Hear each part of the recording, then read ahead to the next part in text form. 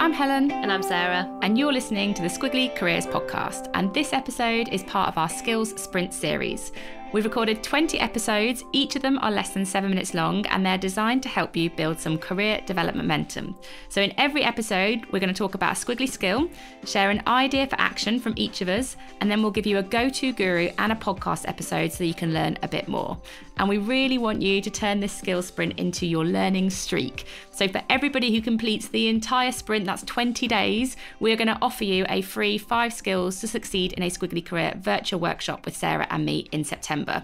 All you've got to do is listen and do a bit of learning and then post about your progress on social and tag us. We're at Amazing If in your post and then we will be in touch. In this skill sprint, we're talking about experimenting.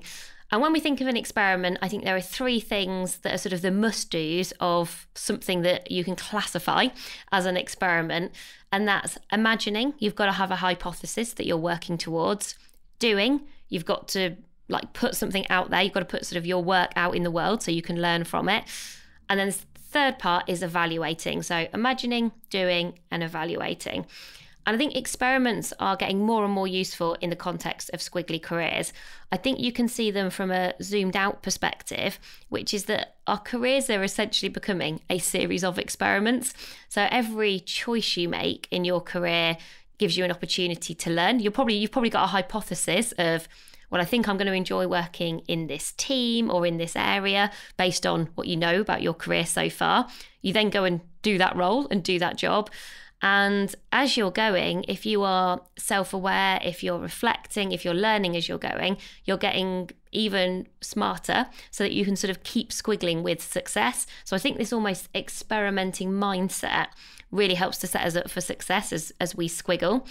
Then I think more day to day, so more zoomed in, experiments are part of our day jobs, a part of what we do, so that we discover new opportunities, new ways to add value.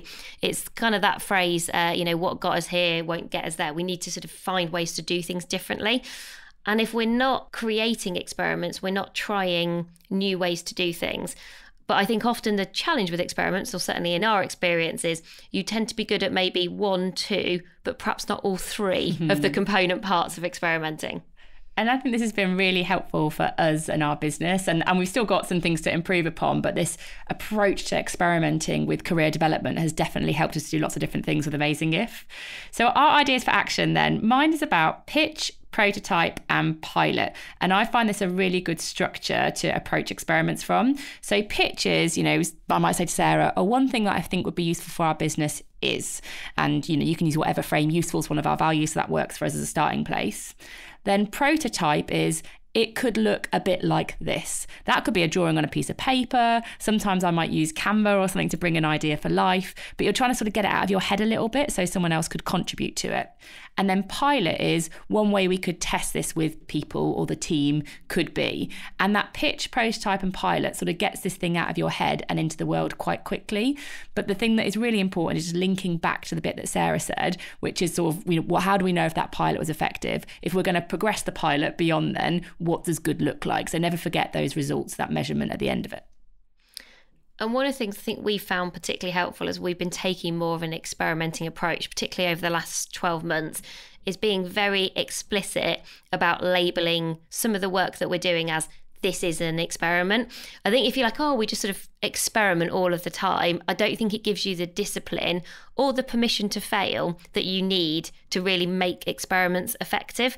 So, as part of our good growth plans, so in Amazing If, you know, like your team objectives or your personal development plans, our equivalent is something called a good growth plan. And in our good growth plan, we all have in our team one page that says, these are our experiments. And we are really clear about, okay, we're experimenting with it might be a process, it could be a project, it could be a ways of working. But as soon as you then say it's an experiment, you do then go back to, well, am I clear about why are we doing this? That's the sort of the hypothesis bit. Am I clear about what that then looks like in the real world, which is the prototype. And then how will I know whether this has been successful, which is then the sort of the, well, when I'm piloting it, am I measuring it as I go? And I think it gives you that awareness. As I said, I think often you are better at certain bits than others. So I'm really good at the imagining. I'm good enough at the doing, and I'm really not great at the evaluating. But I think knowing that when you sort of have the structure and the framework of an experiment around the work that you're doing, it really encourages you to fill in the gaps. And our go to guru on this is a bit left field. It's Seth Godin, who we interviewed on the podcast a while ago. But the reason we recommend him is he has a really nice approach to experimenting that goes across all of his work. And he wrote a book called The Practice, which was all about, he basically wrote every day for years. And he took away this pressure of perfectionism, got used to kind of a fear of failure, and then actually really increased the quality of his output as a result. This is quite a lot that you can learn from how he approaches his work that you can bring into uh, sort of experimentation in your your job. And if you want to learn a bit more, episode 277 of the Squiggly Careers podcast is on how to use experiments to accelerate your career development. So thanks for listening to this skill sprint. We hope you're finding them useful. We'd love you to share and subscribe so you don't miss a sprint. But that's everything for this episode. So bye for now. Bye, everyone.